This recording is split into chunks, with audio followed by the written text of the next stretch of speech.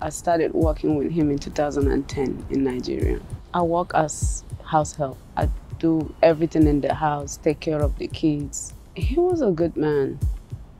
Everything was good. When did he start talking to you about coming to the United States? He never said anything. He just said, go get your passport. You're going to the United States. And that's it. I never knew it was going to be permanent.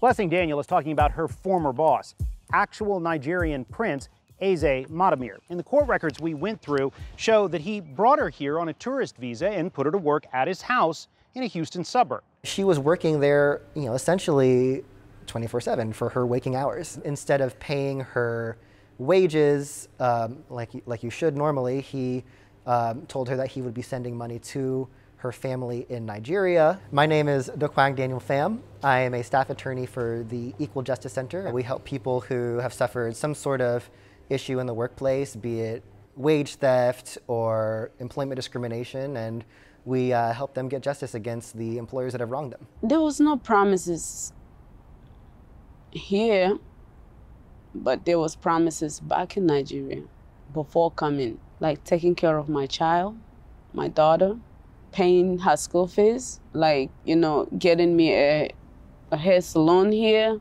You had to leave your daughter? Yes. I didn't come with her. How old she? She was eight as of that time. That must have been hard. One of the hardest things ever. Yes. What did they tell you would happen if you left? I don't know. I want to say that. Labor trafficking is the use of force, fraud, and coercion uh, for the purpose of obtaining someone for modern day slavery, for debt bondage or um, forced labor. But Human trafficking isn't just kidnapping, it isn't just abduction. Human trafficking usually is done by someone who has a, a close relationship or kinship to you um, and is taking advantage of that. My name is Samantha Ledesma and I am with YMCA International, which is a part of YMCA Greater Houston. My name is Elise Grismeyer. I'm the Associate Legal Director for the Cabrini Center for Immigration Legal Services for Catholic Charities. We work um, exclusively with foreign national survivors of labor trafficking and sex trafficking. And I think when we see stories about trafficking in the media, they tend to take either the form of smuggling, you know, immigrants found in the back of an 18 wheeler, or they take the shape of sex trafficking for young American girls. And those both of those things are so narrow in focus that we miss how broad trafficking is. That trick we see is is typically come work for me, I'll pay you a minimum wage waitressing job. And then you get here and you find out it's something else. A lot of these labor trafficking cases can be with foreign nationals, with somebody who is undocumented in the US. While many victims of trafficking are undocumented, there are those, like Daniels, who come to the US on tourist visas. Then there are those who come here on worker visas. So the H2A and H2B program specifically are brought in to fill gaps in employment here in the United States. They can apply for visas to bring people into the country. Those visas, however, are tied to that specific employer. So there's this huge power imbalance between the employer and employees. And if they complain about working conditions or hours or the type of work that they're being forced to do, they know that their employer could have them deported at any moment. So whether it's psychological or physical, if that person feels that they cannot leave that labor situation, that work, um, that turns into labor trafficking. A lot of abuse crops up in that system that could be easily resolved if we gave immigrants more flexibility to work within that same field but the ability to change employers. The United States allows 88 countries to apply for H 2 visas. Between 2018 and 2020, more than 15,800 people were identified by the human trafficking hotline as labor trafficking victims. Nearly 3,700 were holding an H 2 visa. Again, people with these visas cannot change jobs to escape their situation. In Daniel's case, it took a call to get her out. I was going to church at first. I started to make friends, and when they realized I was making friends, they stopped me from going to church. I never had a phone. They never got me one. They say I had no one to call.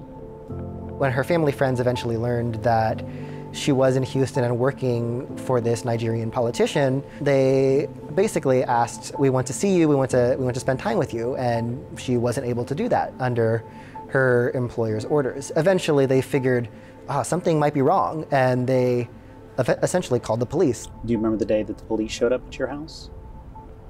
Just like right now. I would never forget that. Were you scared going with the police? At first, yes. What did you think was going to happen? I thought I was going to be deported. The fear in me, like, I had no idea what was going on. They said it was human trafficking.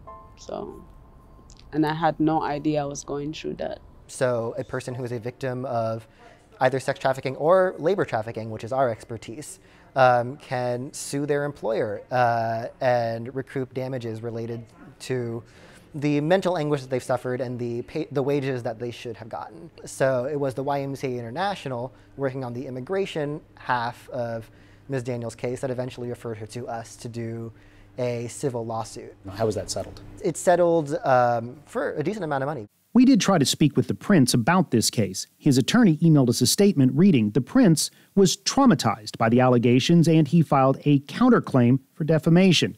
They both ended up settling and closing their claims against each other. We haven't seen a lot of criminal prosecution on the cases that we've been working on. It's hard to grapple with this definition and understand that labor trafficking is not just a workplace violation, it's also a human rights violation. With the resources that uh, law enforcement has, um, it's still a difficult uh, case to prosecute. Kenneth Magidson, former U.S. Attorney in the Southern District of Texas. Is it easier to go after the sex trafficking, because that usually involves multiple women with more clear cut signs of other crimes being committed, versus the one person who is a domestic servant? The federal resources in law enforcement are always stretched thin because there's so many demands upon what kind of cases they take. Even in the sense of forced labor, they're always going to be looked at in terms of multi-state investigations. In other words, is this something that's being occur that's being done by a cartel? Is this something that's being done by organized crime? But we have to put the infrastructure in to handle the immigration problem.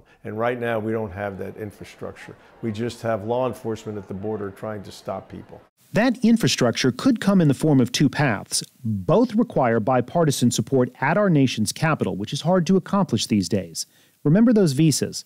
The first path would require a change to how employers who sponsor immigrant workers are properly vetted or monitored. It would also give visa holders the opportunity to change jobs if their employer was abusing their position. Nationally, the second path lands on enforcing current laws, and it would require a joint effort from law enforcement, federal agencies, state and city leaders, and grassroots or nonprofit advocates. There's also a huge coalition, which is the Houston uh, Rescue and Restore Coalition, that has over 50 organizations working together to really uh, you know, fix these gaps in services. We have a trafficking victims assistance program through our refugee resettlement program that can do financial assistance and case management and counseling and shelter and food and GED classes or whatever it is that they might need. We also know that Houston is a model for the response to human trafficking, that we were, had one of the first federally funded task forces to address human trafficking, that our mayor's office has set up a task force as well and it's been used as a model not only nationally but internationally as well. So for whoever is going through what I went through, I want to say speak to somebody. You can always trust someone out there. Speak. If you have opportunity, make that one phone call, and that's it.